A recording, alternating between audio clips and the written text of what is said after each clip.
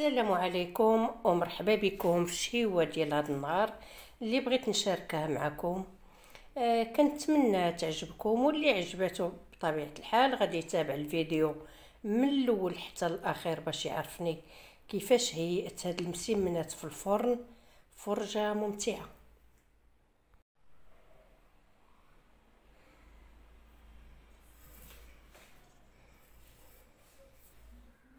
بسم الله وعلى بركة الله نبداو في الوصفة هنا عندي ثلاثة الكيسان ونصف ديال الدقيق الأبيض وكاس من السميدة راس معلقة ديال الخميرة ديال الحلويات وراس معلقة صغير قليل ديال الخميرة ديال الخبز الملح على حسب الذوق نزيد شوية. معلقة كبيرة ديال بودرة الحليب. واحد الفرماجة. أنا قلت لكم القليل من الزعتر. معلقة صغيرة ديال الخل سواء الأبيض ولا العادي ما كان حتى مشكل. معلقة ديال الخل.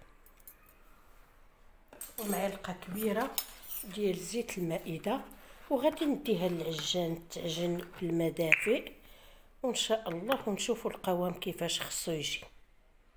غادي نزيد معكم معلقه ديال الزيت وغادي نعجن كلشي ونتلاقاو باش نشوفوا القوام. القوام ديال العجين خصو يجي هكا ما تقيلش وما خفيفش. هنا وضعت القليل من الزيت وغادي نجمع العجين ديالي وغادي نخليها أنا غير في هذا البول ونغطيه بالبلاستيك الغذائي وبواحد المنديل ونخليه يرتاح إن شاء الله وندوزو باش نشكلوه. بعد ما العجين خليته طلق شوية غادي ندهن يديا بالقليل من الزيت وغادي نجي وغادي نقطع على هذا الشكل. نتوما غادي تحكموا واش بغيتوهم كبار ولا صغار. هذا اللي كتشوفوا الزعتر.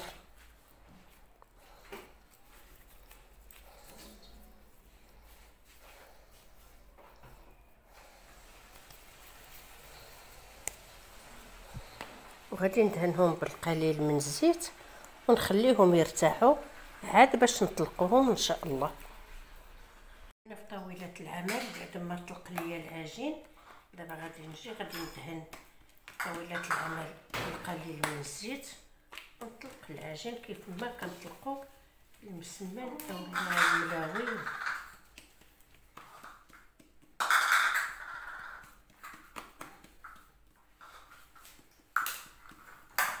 غادي نركز هنايا على الجوانب باش ما يبقاو لياش غلاظ أما الوسط راه كيتجبد.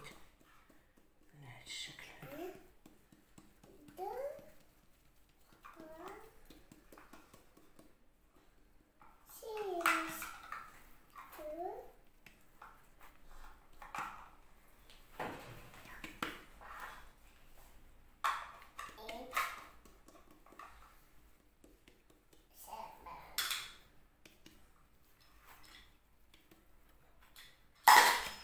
كنشوف البلاصة اللي غليظة. هي اللي كنزيد نورق.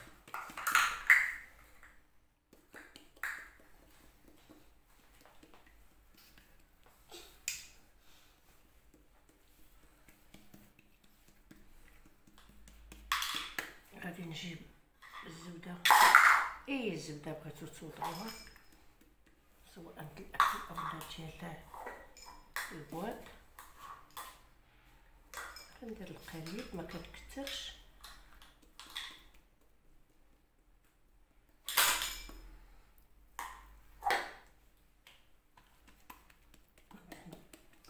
شوية ديال الزبده ونعاود نقلبها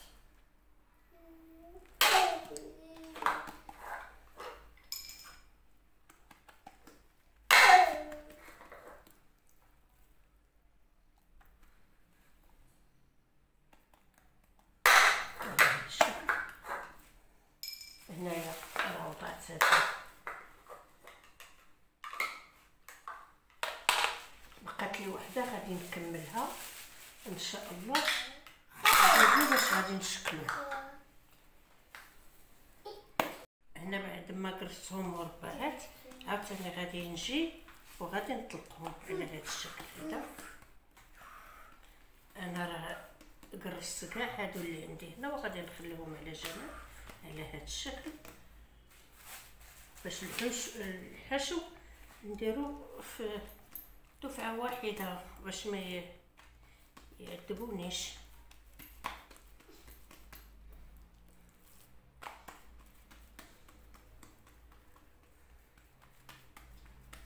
منها كيزيدو يطلقوا. وغادي نخليهم على جنب هذه أخيرة. حتى الحشو. فرقتو على 8 ديال الكريات اولا 3 8 ديال الرغيفات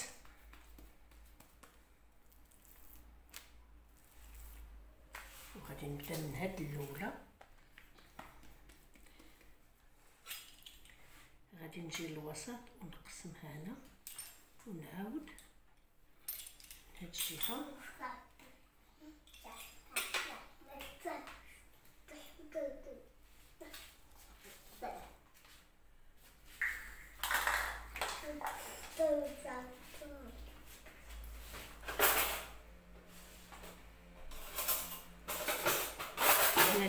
الحشو غادي نشاركو معكم أنا وضعت آه، جوج البصلات كبار جوج الفلافل وحدة حم... آه، جوج حمر وجوج صفر. توابل وضعت البزار والملح والقليل من السودانية والكاري. اللي كيبغيه اللي ما كيبغيش يتفادى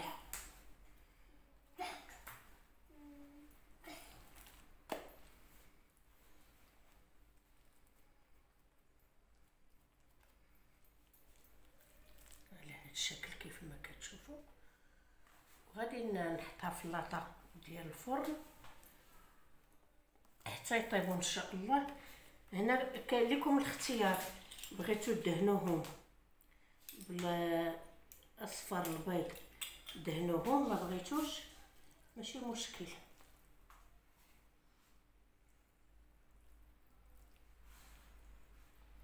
هنا ما قلتش الفرomاج حتى طابت ليا الحشوة.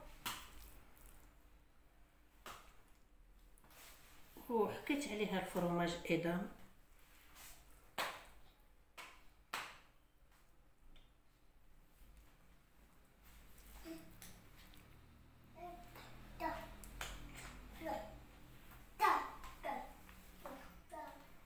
وغادي الكميه اللي عندي ان شاء الله ونطيبها ما نخليها لا تخمر لا والو.